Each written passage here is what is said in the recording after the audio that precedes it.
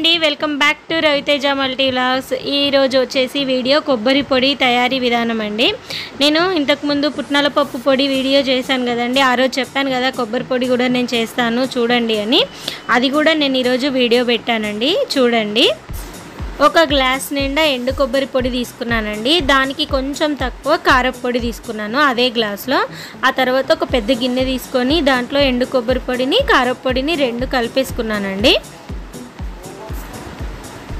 ఆ తర్వాత కారానికి కొంచెం సగం గ్లాస్ అండి. అది నేను కొంచెం ఎక్కువ వేసుకున్నాను. మీరు ఇంకొంచెం తక్కువ వేయండి.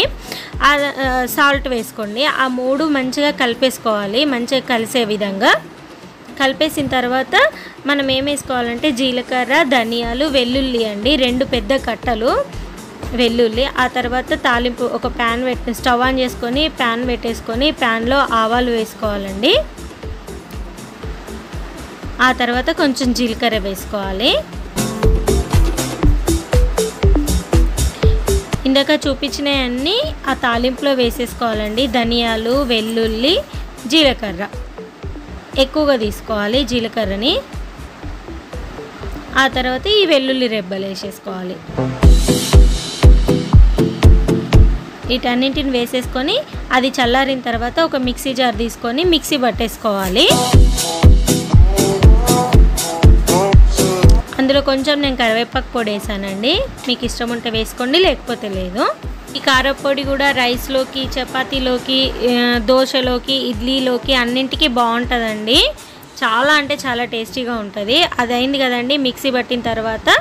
ఇప్పుడు దాంట్లో మనం ఫస్ట్ కలిపేసుకున్నాం కదండి ఎండు కొబ్బరి ఉప్పు కారం.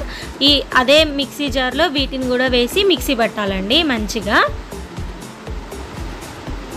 అదే అండి మిక్సీ పట్టిన తర్వాత ఎలా అయింది చూడండి. చాలా స్మూత్ స్ట్రక్చర్గా వస్తుందండి.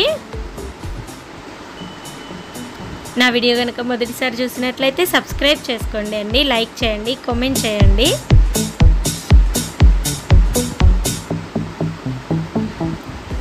ఒకసారి మీరు మీ ఇంట్లో ట్రై చేసి చూడండి ఎలా ఉందో మీకే తెలుస్తుందండి. చాలా అంటే చాలా టేస్టీగా ఉంటుంది. అదంతా ఇప్పుడు మిక్సీ పట్టేసుకున్నాం కదండి దాన్ని పక్కన పెట్టేసుకొని మళ్ళీ ప్యాన్ పెట్టేసుకొని కొంచెం ఆయిల్ జీలకర్ర ఆవాలు కొంచెం మినప్పప్పు వేసుకోవాలి. మినపప్పు వేసుకొని అవన్నింటిని దోరగా వేయించుకోవాలి.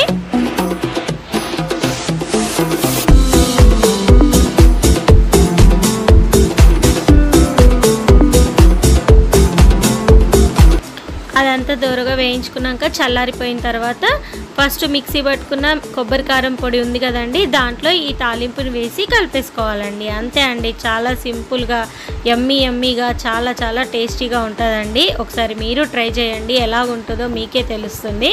తర్వాత ఒక సర్వింగ్ బౌల్లోకి తీసుకొని సర్వ్ చేసుకోవాలి. అంతే అండి చాలా సింపుల్ అండి. నా వీడియో కనుక మీకు నచ్చినట్లయితే లైక్ చేయండి షేర్ చేయండి కామెంట్ చేయండి సబ్స్క్రైబ్ చేయండి. సబ్స్క్రైబ్ చేసి పక్కనే ఉన్న బెల్ ఐకాన్ని క్లిక్ చేయడం మాత్రం మర్చిపోకండి.